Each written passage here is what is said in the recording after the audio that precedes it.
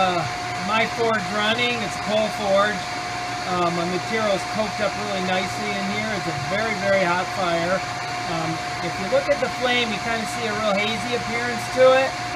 That's called a reducing flame.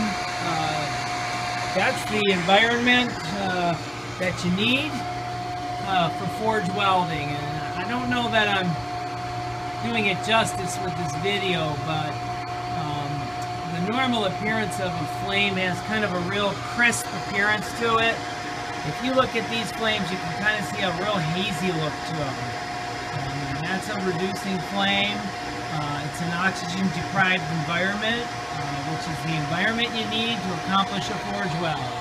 Uh, when you look right here, this is a 17-layer billet I started today. Um, this is uh, four heats, I believe, and it's drawn out.